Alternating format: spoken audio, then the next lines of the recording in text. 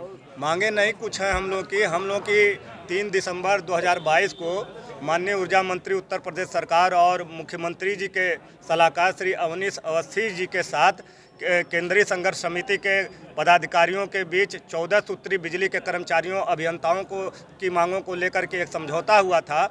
उस समझौते का आज 112 दिन व्यतीत हो गए। अभी तक पालन नहीं हुआ। तो हम लोग उत्तर प्रदेश की सरकार, माननीय ऊर्जा मंत्री जी से यही मांग कर रहे हैं कि आपने जो समझौता किया, कम से कम उसका क्रियान्वयन तो करा दीजिए, उसका पालन तो करा दीजिए, जिससे हमारी मांगें पूरी हो जाएँ, हमारे कर्मचारियों को न्याय मिल जाए।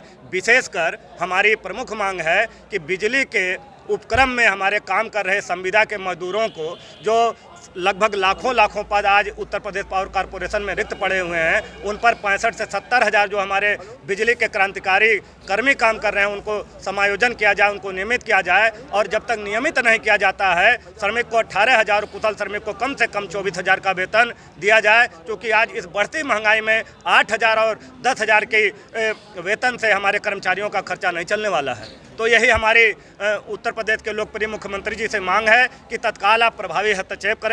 किसी भी प्रकार का टकराहट जनहित में नहीं है। हम लोग ऐसा कुछ नहीं चाहते हैं कि जिससे जनहित प्रभावित हो उपभोक्ता प्रभावित हो। हम लोग आम जनता के साथ हैं और जनता से भी अपील करेंगे कि आप लोग भी हम लोगों के साथ धैर्य बनाए रखिए, क्योंकि हमारी जो मांग है, उसी पर हम अडिग हैं कि उत्तर प्रदेश सरकार द्वारा उसका क्रियान्वयन कराया जाए, वो समझौता लागू कराया जाए, यही हम सबकी मांग है। और इसी को लेकर के कल हम लोग 16 तारीख की रात 10 बजे से पूरे उत्तर प्रदेश के एक एक जनपदों में हड़ताल पर उतर चुके हैं और फिर भी बहत्तर घंटे की सांकेतिक हड़ताल है। अगर उत्तर प्रदेश के लोकप्रिय मुख्यमंत्री जी द्वारा कोई निर्णय नहीं लिया जाता है तो इस हड़ताल को हम लोग जैसा केंद्रीय नेतृत्व का निर्देश मिलेगा, बेमियादी हड़ताल में भी परिवर्तित करने के लिए हम लोग विवश होंगे। हम अपनी मांगों को लेकर के तत्पर हैं। इस लड़ाई को तब तक जारी रखेंगे जब तक ये समझौता लागू नहीं किया जाता है। जय गोविंद, जिला अध्यक्ष विद्युत मजदूर, पंचायत उत्तर प्रदेश, घटक संगठन विद्युत कर्मचारी संघर्ष समिति उत्तर प्रदेश, अयोध्या। उत्तर प्रदेश पावर कारपोरेशन नेता कर्मचारी संघ का मैं जिला अध्यक्ष रामदेव सिंह। हम संविदा कर्मचारियों की सिर्फ़ एक ही मांग है, जो तीन बारह 2022 को मुख्यमंत्री के प्रमुख सलाहकार अवनीश अवस्थी जी और माननीय ऊर्जा मंत्री जी के मध्य समझौता हुआ था। उस समझौते में चौदह बिंदुओं पर समझौता हुआ था, जिसमें एक समझौता हम संविदा कर्मचारियों की मांगों को लेकर के था।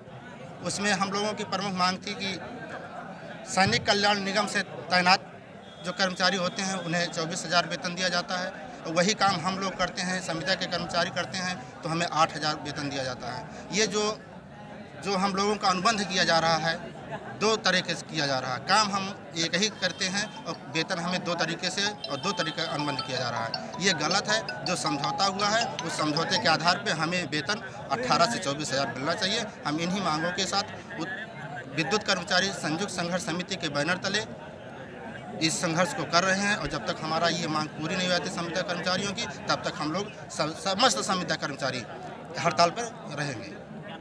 रामदेव सिंह, जिलाध्यक्ष, अयोध्या।